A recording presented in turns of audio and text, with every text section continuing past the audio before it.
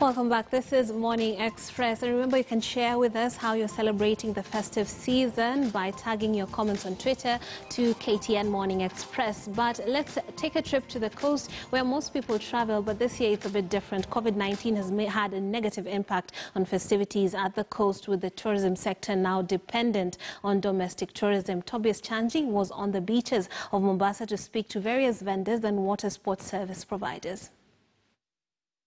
It is another month here with us. This is Christmas and the COVID-19 pandemic hasn't dampened the spirits of beach enthusiasts as they throng in various beaches here in Mombasa uh, to just participate in various thrills that happen. Behind me, uh, these are just some of participants uh, jet skiing currently as uh, most revelers uh, turn up to the beach uh, to just be among uh, those ones uh, that will be uh, in these years. Remember that uh, when you come to Mombasa, it's not only about swimming, uh, but also such activities, uh, such sporting activities uh, do happen here.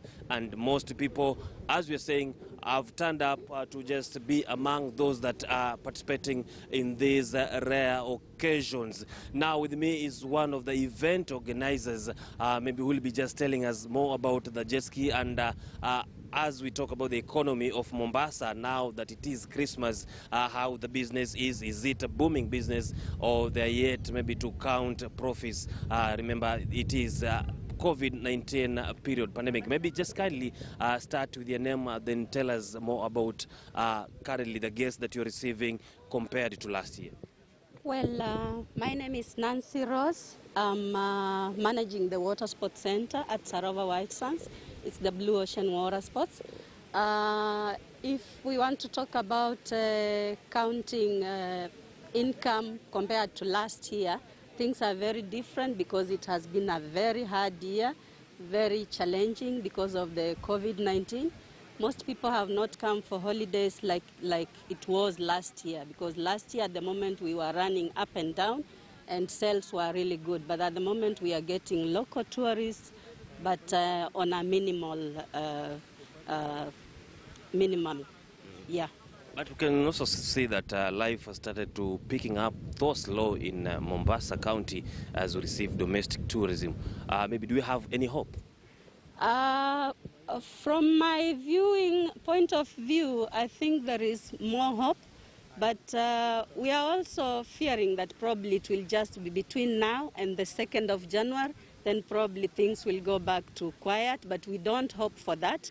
We hope that things will, with people taking care and precautions with the COVID regulations, I think we will, uh, we can continue doing business. Okay. Yeah. Talking about water sports, Yes. these are kind of activities that we usually uh, we only saw foreigners participating in it. Have uh, Africans also started to embrace it? Well, uh, from my experience, uh, three, four years ago, water sport activities were for foreigners, and uh, Africans were just trying one, not maybe one out of ten. But uh, as the years are going by, even the jet skis, I can tell you 90% of my clients are Kenyans for jet skis. And uh, there are other sports like uh, snorkeling, scuba diving. That's where you find 50 50.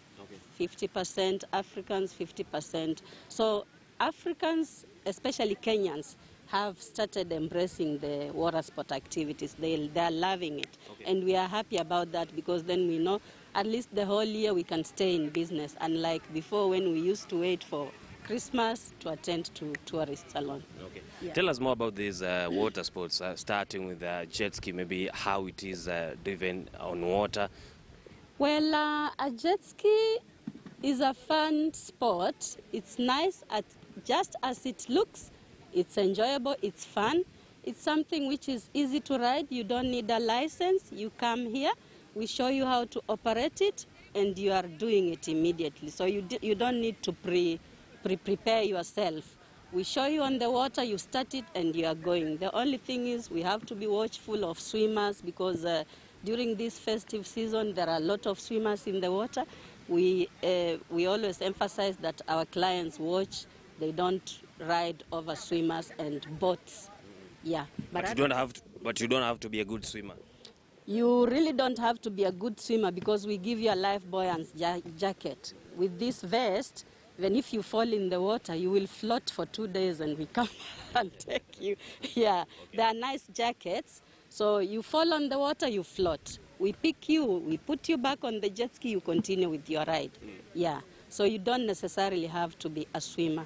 Sports like um, kite surfing and uh, deep sea diving, you have to be a good swimmer because it's something which you do in the deep ocean. Yeah. But again, we have the snorkeling trips with the glass bottom boat, the blue boat. These ones, you also don't have to be a, a swimmer because we do it during low tides. When the water is low, we take you to the coral gardens. You do snorkeling, you watch the fish, you feed the fish. It's a fantastic thing. Anybody can do it. And it's also recommended for a family because even kids can do it.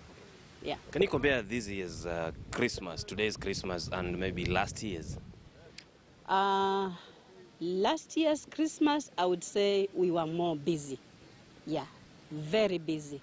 There are times you could come and I was like, about 2 o'clock, I would say we are already booked for the whole day. But uh, at the moment, business is coming in. Yes, it's streaming, but slowly and slowly. Yeah. Thanks a lot and uh, all the best. And from me, I want to wish you a Merry Christmas. Merry Christmas. well, thank you. Uh, there you have it, just sentiments about uh, the water sports. And uh, as she said, everyone is welcome to have fun, even those that are home taking breakfast now, or even eating pilau, eating biryani, or even eating gali. You don't have to be lazy after eating all these uh, food uh, stuff. Then you just have to come to the beach and also enjoy, apart from enjoying uh, the soothing breeze and also watching over on fish, snorkeling, on this sandy beach. You can also participate in uh, one or two water sports. Apart from jet ski, we have uh, kayaking, among other many water sports uh, that ha just happening here. Uh, we've also seen an improved uh, people, uh, improved number of people who were coming in, like the hotels that we were earlier on before.